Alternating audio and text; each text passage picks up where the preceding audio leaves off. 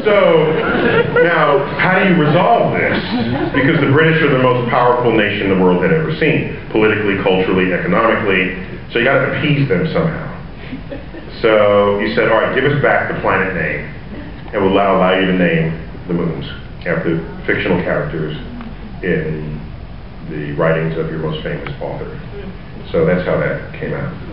And so the moons of Uranus are Miranda, Puck, Oberon, Portia, these sorts of things. If you're completely illiterate, those are characters in. in case you didn't know. I didn't want to- Yeah, that was like a whole diversion there, but I get that off my chest. So, now where did I leave off? Checking to see if you're paying attention. List what a planet is, the criteria. Well, criteria, no, the check boxes, yeah, thank you. Somebody was paying attention on the left-hand side here. So, check, is it round? Yes. Are you the principal orbiter? Yes.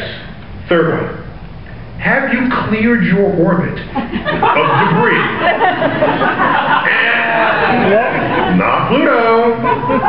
It is orbiting the sun with countless other frozen bodies in the outer solar system.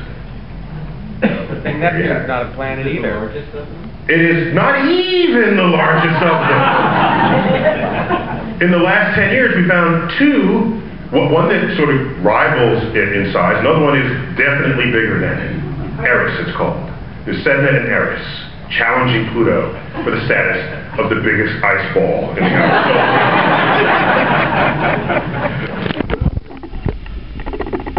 Uh, by the way, so if you, if you don't satisfy these three criteria, if any one of them is not satisfied, sorry, if all three have to be satisfied in order to be a planet. If you're round, a principal object and haven't cleared your orbit, then you're a dwarf planet. So two out of three checks gets you the dwarf status. All right? That elevated one of the asteroids. The biggest asteroid is called Ceres, C-E-R-E-S. It's round. But where is it found? The asteroid belt, littered with debris. Yeah. So that one's not a planet, it's a dwarf planet. Then they said, all right, we got to make Pluto a little happier than this. So why don't we make a new a new sub-classification? If you are round, haven't cleared your orbit, but you're icy and orbit beyond Neptune, then you're a Plutoid. Pluto is then the benchmark of this new class of icy body in the outer solar system, and Ceres would not be a Plutoid.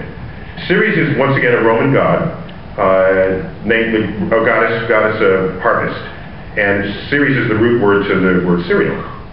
How we, now, how did it, how did how did an asteroid get the name of a Roman god?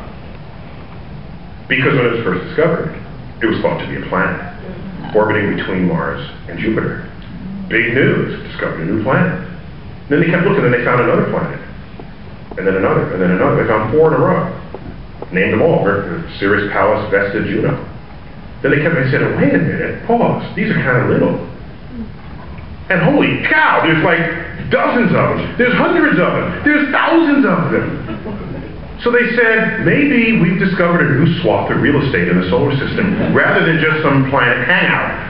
And so, if you look at textbooks from 1801 up through 1850, the planet count went up, got as high as 17, 18, 19. You didn't know that. Get, get a book in 1845, there are 17 planets in the solar system.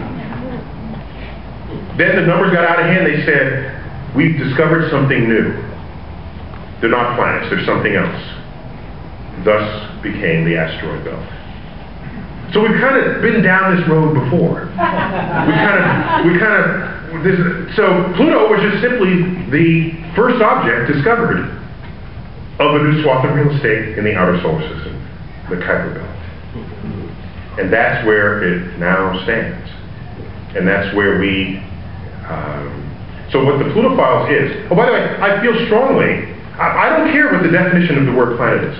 I really don't. But if it's going to be everything that's round, I submit to you that that's just not useful. If Pluto was in the same category as Jupiter, and I say, oh, I just discovered a planet, they didn't have to ask, well, is it big? Is it, is it small? Is it gaseous? Is it rocky? Does it have rings? Is it an habitable zone? If we have to play 20 questions after I say I just discovered a planet, the word planet is not useful to you. I can tell you, oh, could you pull that book off the shelf?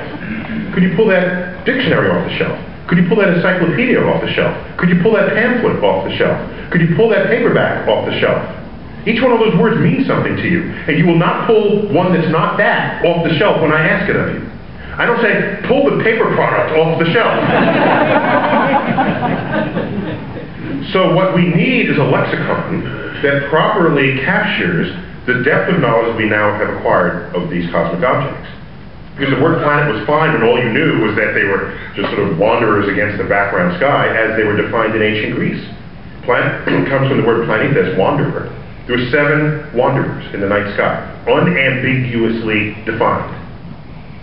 Mercury, Venus, Mars, Jupiter, Saturn, the Sun, and the Moon. Those objects would move throughout the year against the background sky. Nothing else moved, you got seven planets, bada bing. There it is no arguments. Those then became the names for the seven days of the week, drawn from Roman and Norse mythology. So Saturn would be Saturday, uh, the sun is Sunday, the moon is Monday, that sort of thing. So Copernicus comes along, puts the sun in the middle instead of Earth. Earth then becomes in orbit around the sun, commensurate with these other things we had been calling planets. The moon comes into orbit the Earth. So we lost two planets and gained one. So after Copernicus, there were six planets and not seven. But a planet then was just, did you go around the sun? Okay, that was it. Wasn't much else to talk about. Wasn't much else interesting to say. Telescope hadn't been invented yet. This year, is the 400th anniversary of the telescope. Benighted the, the International Year of Astronomy because of this.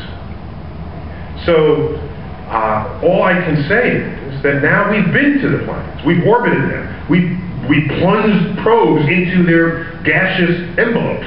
We've orbited their moons. We've had rovers on them. So much to talk about. And if all you can do is lead with the statement, is it a planet or not? I submit that that is no longer scientifically or pedagogically interesting. And so while I'm here pontificating to you, all my pontifications are reserved for only the last chapter of the Pluto Files, where it says advice to teachers, parents, and students. The rest of the book is just a celebration.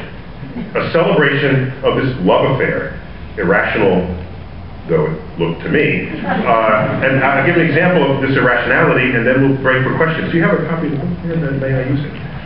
Thank you. Uh, oops, sorry. For you people on the radio, I'm reaching for my book. Hello, everyone on the radio. How are you? Uh, so, so, in the book, well, just so you know, I'm turning to page 111, and on 111, 111 is the very first letter sent by a seven-year-old kid. It's the very first letter. This is the one where he drew the picture of Pluto on the back page here. It's the cutest thing. Dear Natural History Museum, you are missing planet Pluto. Please make a model of it.